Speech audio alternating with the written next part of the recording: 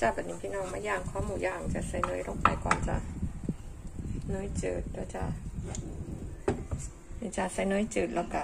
หมูที่หมักไว้จ้ะข้อหมูแล้วก็ท้าเนยลงไปใส่ข้อหมูจ้ะข้อหมูย่างที่เราหมักไปนะ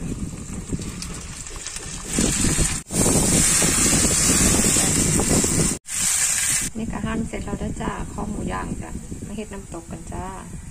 หั่นบางๆสิจ้ะพี่น้องปรุงข้อหมูย่างจะบีบบักนาวใส่จ้า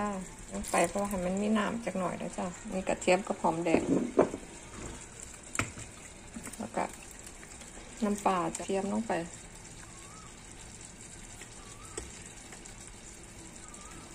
ฝากกดไลค์ฝากติดตามฝากกดแชร์ฝากกดซับด้อจ้าน้ำตกหมูจ้าแซ่บๆจ้า